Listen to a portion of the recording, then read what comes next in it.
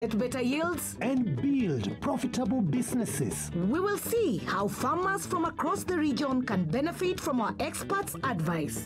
This is an extract from the trailer for the Kenyan reality TV show Shamba Shape Up. It provides information to farmers on variables like volatile weather patterns and diseases that threaten their livestock and crops. TV has gained ground swiftly against radio in recent years in many of Africa's rural areas.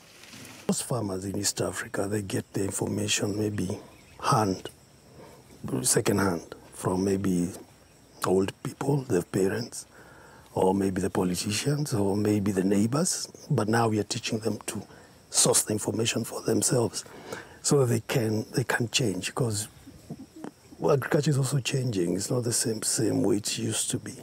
Presenters and experts help farmers in each episode.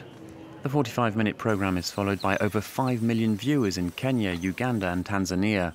It began seven years ago, and farmers praise it. The team travels to different parts of Kenya. They meet different people who are growing various things. If you follow the advice, you will never go wrong.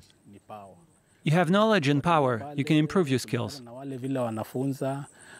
Farmers can also ask questions, get tips via SMS, and download clips through a digital platform. According to one study, 46% of its viewers have changed their farming methods since the show first aired in 2011.